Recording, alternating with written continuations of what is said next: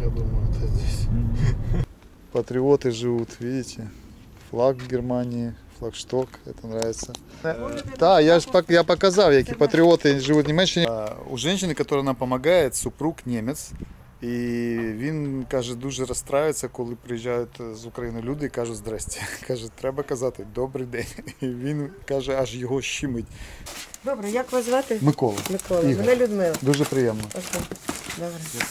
А, я хочу вас познайомити з головою е, спілки в Німеччині з- України. Людмила Млош. Е, Будь ласка. Доброго дня, друзі, доброго дня всіх, хто нас чує.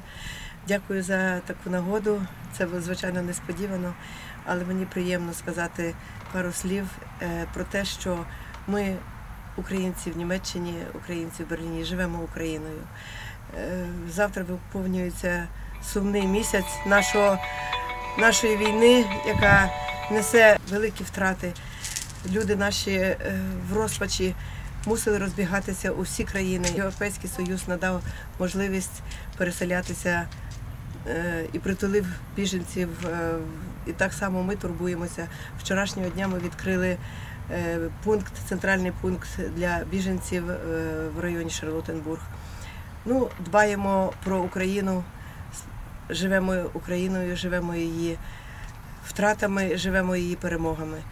Я думаю, що при допомозі світового українства, при допомозі всіх людей доброї волі, які люблять життя, які цінують життя, так само, як і е, ми, українці, ми шануємо всіх людей. Ми не бажаємо нікому смерті. Ми нікому, е, е, проходячи історію нашої держави, наша держава ніколи не нападала ні на яку країну, ні на який народ і не займалася знищенням народу.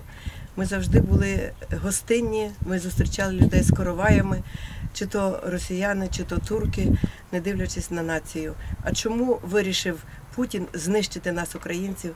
Це, мабуть, запитати мусить е, Гаазький суд, і, мабуть, мусить запитати весь світ, за що ми гинемо. Е, Я надіюся, що весь цивілізований світ підтримує українців і ми переможемо. Слава Україні! Героям слава. Дуже вам дякую. Вам дякую Ну, дуже. ви-